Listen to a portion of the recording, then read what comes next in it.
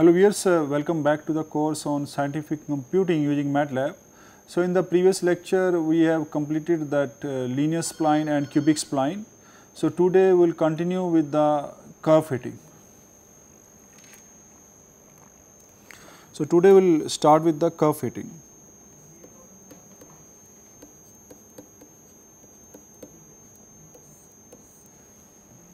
So, now suppose I have the data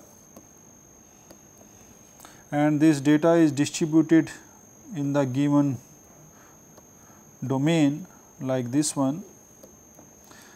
So, suppose this is my x 0, y 0, x 1, y 1, x 2, y 2 and this is in the end I have x n, y n. This is x k, y k and so on. So, in this case that I know that if I pass any polynomial passing through all these points then it is called the interpolating polynomial that we have already discussed. Then we have discussed that if I want to approximate this with the piecewise polynomial then we have the splines function. So, we have discussed linear splines and cubic spline. Now, the next thing is that suppose I want that my curve what I want that our approximating approximating curve need not be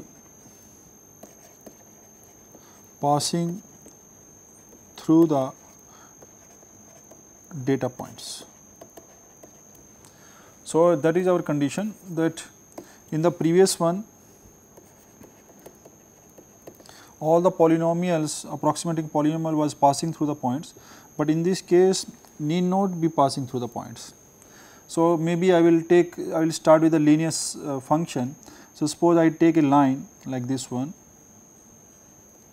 and this line is in this case it is not passing through any of the point because the points are distributed like this one and I want to approximate this with a line and this is my line. So, I call it y is equal to suppose a x plus b. So, in this case our function or the approximating polynomial or approximating curve that is not passing through any of this point. So, so in this case how we can find this one? So, I will start with this one. So, the first one I will start. So, the method for finding this is the least square method. So, in the least square method I start with the k first one that is the linear approximation.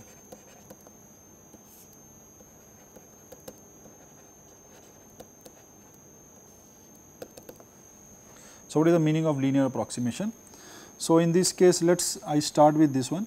So, these are my points and this is the line I am passing uh, the that line I have want to approximate. Now, what I do now these are the points that is already given to me. This is x k, this is I suppose I call it x k minus 1, y k minus 1 and so on. Now, what I want to find I will try to find the error between these. So, suppose at this point or at this point or at this point the value of y naught is this one and the line I am going to approximate. So, based on this one the value of y is this one. So, this is my y naught value that is the exact value that has been given to me and this is the value if I put the x naught in the given linear equation that is the equation of a line then I get this value. So, the difference between this is I call it E1. So, that is the error between these two values. Now, the same way I will do for x1. So, I call it E2 then I will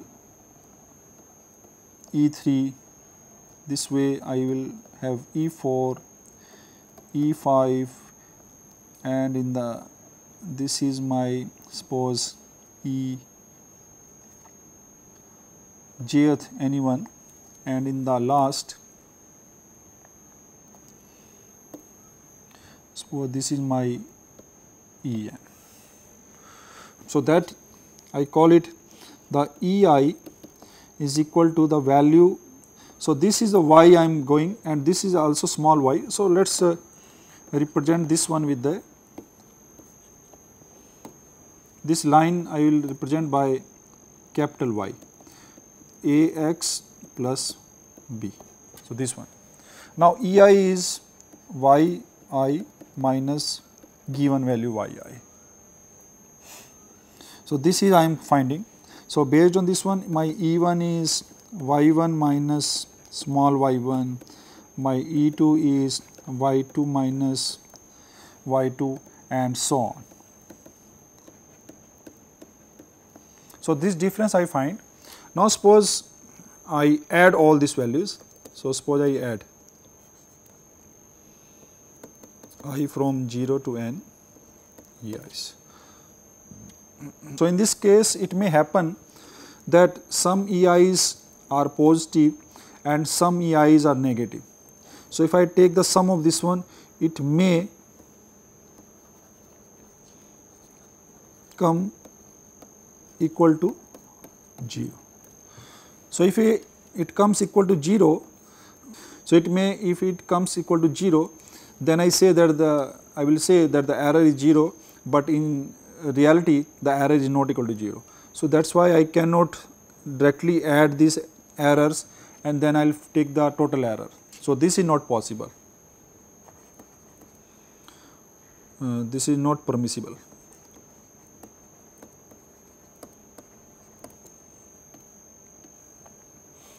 So, in this case what I will do that I will take the help of least square method. So, in the least square method what I do that it shows that first I will take the square. So, what I do is there I will take the error E i doing the square of this one adding all these errors and then taking the square root. So, it is a least root mean square error. So, I am taking the root mean square.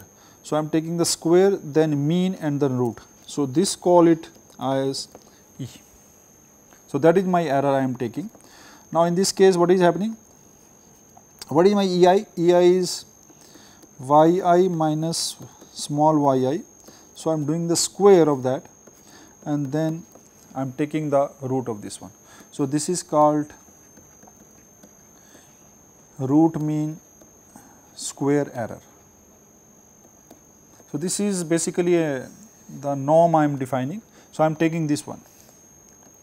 Now, if I substitute this value, so from here I can call it as E square y i minus y i square i is moving from 0 to n. Now, I am taking just the square of both side. Now, I know that if E is minimum or maximum then E square is also minimum or maximum. Okay. So, instead of under root I just take these terms and then try to find out. So, this is my E square. So, let us call it the error. So, I will call it error. So, just the square of E square I am calling error. Now, from here I can write that this error can be written as summation i from 0 to n and this capital Y is a x i minus plus b. So, that is equal to b minus y i whole square. Now, this is a function. So, I know that I want that we want, so I call it maybe this is I call it 1 and this I call it 2. So, from here I can say that we want that our error should be minimum for best approximation.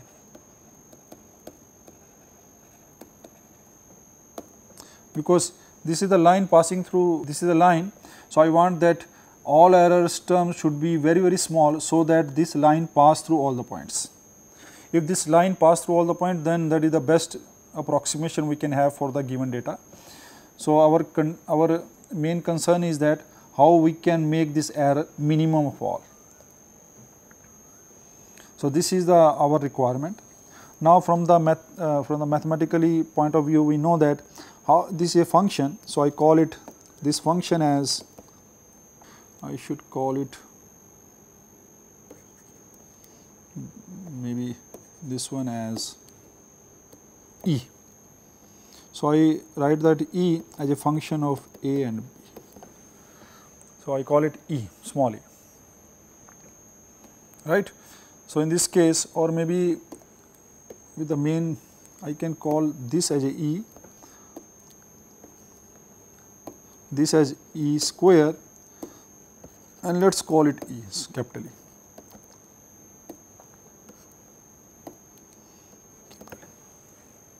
Now, it is a function of two variable a and b that we need to find out to find out the equation of a line.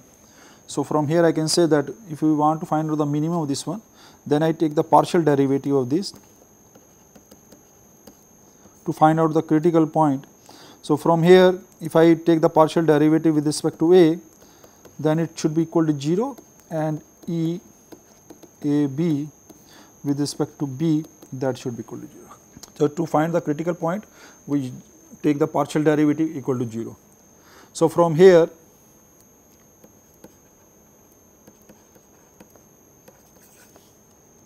now I want to take the derivative of this one. So, let us take del E of A B del A. So, this will be summation i from 0 to n to a x i plus b minus y i into the derivative of a that is x i.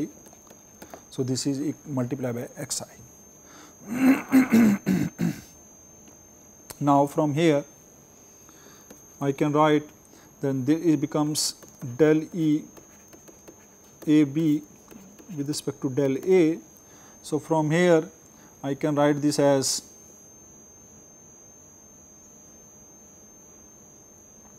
summation i from 0 to n to then I can multiply this by with the x. So, it becomes a x i square plus b x i minus y i x i. So, I got so this is the value I am finding from this one. Now, this is equal to 0 at the point where the we are going to have a minima or maxima. So, from here I can say that this is equal to the summation is equal to 0. So, then from here I can write this i from 0 to n. So, 2 I can ignore. So, from here I will get a x i square plus b x i and this quantity is known to us. So, I can take this one on the right hand side. So, it will be from i from 0 to n x i y i.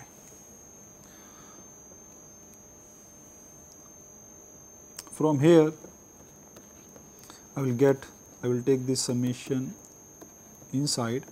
So, it will be a x i square plus summation b. So, this a I can write here.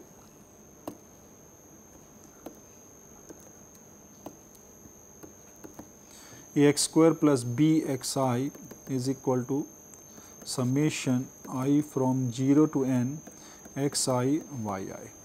So, I call it the equation number 3.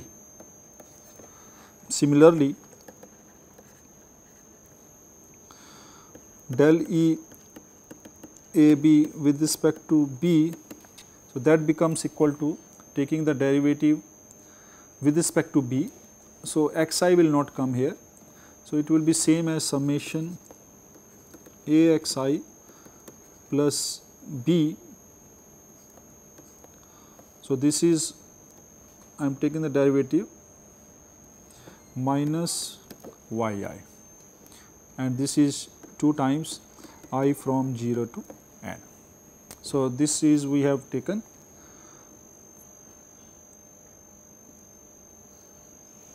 and I want that this should be equal to 0. So, from here I can say that summation.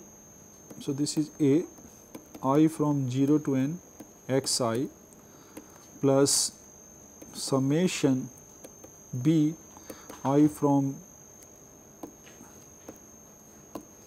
i from 0 to n and this one I have take on the right hand side. So, that is equal to i from 0 to n y i. So, that is the equation number 4 not 2 it is 4. So, now we have a system. So, now on solving the system of equations. So, this is equations 3 and 4 we can find the value of A and B. So, once I know the value of A and B from here I can find the value of this linear function this line and that will be my best approximation of the curve fitting passing through these points. So, that is the way we can define the, the equation of a line. So, let us do that how we can find the minimum value. So, let us do one example. So, whatever the equation I am getting the equation 3 and 4. So, I can write from here also.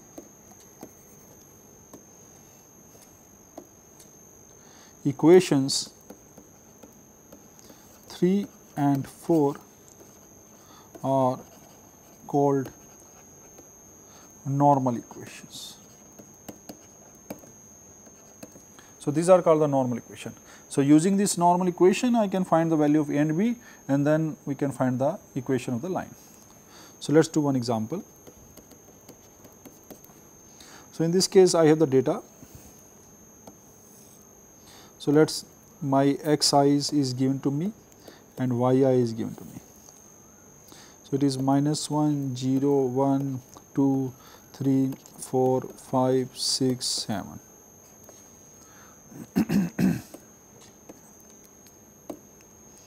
yi is given to me that is 10, 9, 7, 5, 4, 3, 0, minus 1.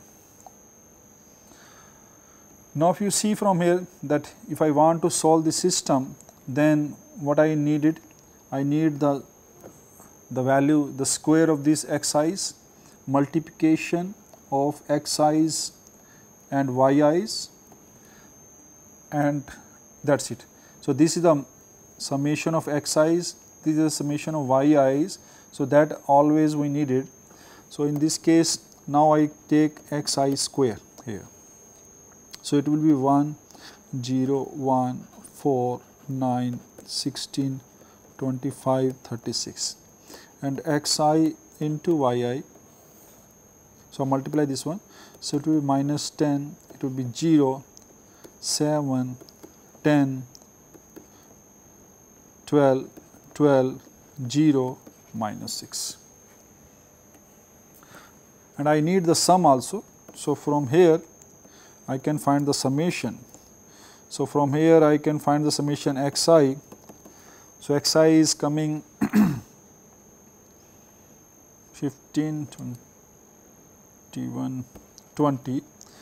This is x y i's. So, y i is coming 37 summation x i square that is coming 92 and summation x i y i that is coming 25. So, this value is now we have calculated. Now, from the normal equation, so from normal equations. So, normal equation is this. So, first I will write A and summation of x i's is 20. So, I write 20 A plus this is B and then multiply B is a common value is a constant. So, summation n is the n values. So, that is n because I know that summation i from 0 to n b that is equal to n b. So, whatever the value.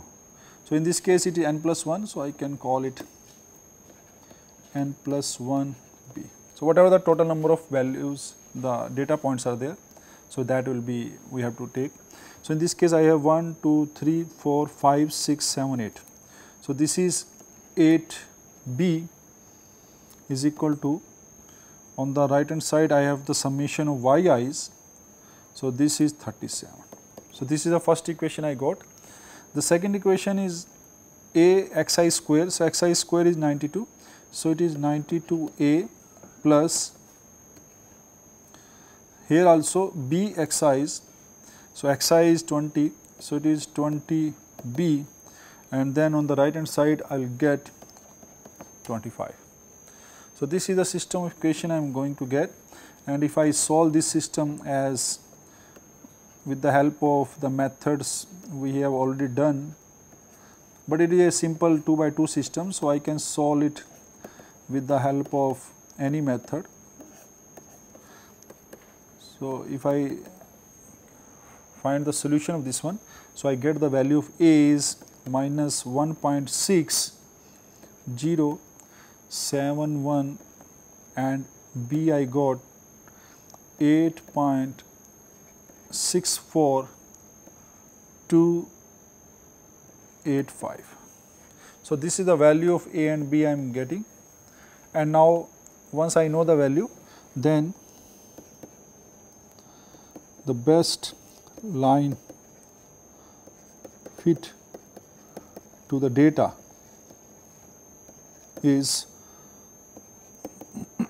minus 1.6071 x plus 8.64285. So, this is the equation of the line and that is my answer of this one. So, based on this one I am able to fit a, so I, can, I will call that I am able to fit a line for the given data and this is the best fit we can have.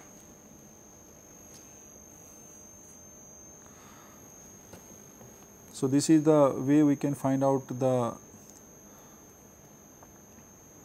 linear fit for this one. Now, the second one is what about the other function? So, based on this one, so this is the linear fit we have taken now, we will want to define the polynomial fit.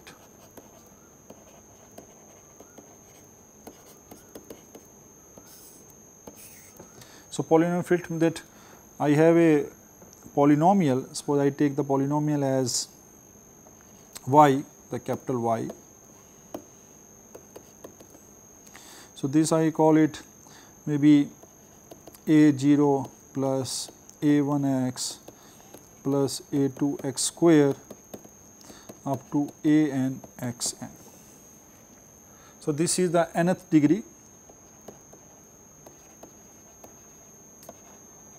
polynomial polynomial fit to the data.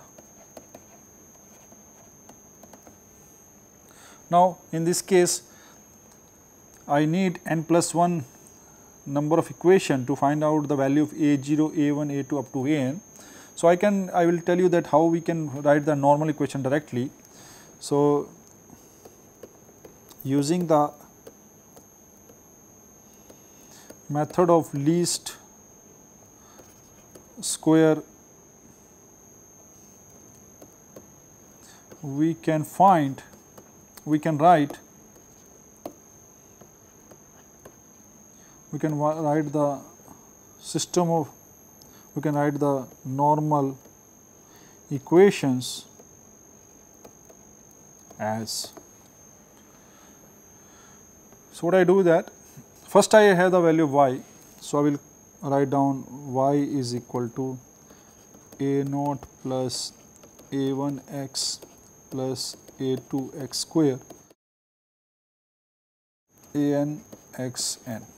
So, this value is given to me. Now, I take the summation both side. So, once I have the summation I will write a a 0 plus a 1 summation x plus a 2 summation x square and a n summation x n. So, I, I write this one. So, this is equal to summation y and I will take as the ith value because I have taken the summation. So, I am taking the summation for the complete data the whatever the data I have and in this case I have my xi and yi that is given to me and i can be from 0 to n or maybe I can write a 1 2 3 up to n small n. So, n number of points. So, from here I will get this value. So, this will by I can write this as a equation number 1. Now, what I did doing this one, now I will use this equation again So, first I will write this as V. I multiply. So, this is the equation. I write the summation of this one, I get the first equation. Now, multiply equation. I call it 1 and I call it 2. Multiply equation 1 by x and take summation. So, if I take the summation I will get yi xi summation that is equal to a0 summation xi plus a1 summation xi square plus a2 summation xi cube and so on and in the end I will get a n. So, this is a small n a n okay this is also a n. So, this is a n and this is will be x n plus 1. So, that I will call it the equation number 3. So, similarly we can multiply again by xi and writing the another equation. So, I from here I can go and the end I will get. So, the first equation I got just taking the summation, second one I got from multiply by x. So, I need total n number of equations to find out. So, I have a0, a1, a2 up to an. So, total number of coefficient is n plus 1. So, in the end I will get yi and multiply. So, if I take the one multiplication I am getting two equations. So, if I multiply by x n, so I am getting a 0 summation x i power n plus a 1 summation x i n plus 2 a 2 summation x i n plus 3 and in the end I will get summation x i. So, it is n into n. So, it will be 2 n. So, then equation is so this way we can write down. So, this is I call it 4. So, based on this one I get total n equation this one and this is the one more equation. So, we have now we have n plus 1 equations which gives me the values of a0, a1, a2 and to an to to find the corresponding polynomial fit.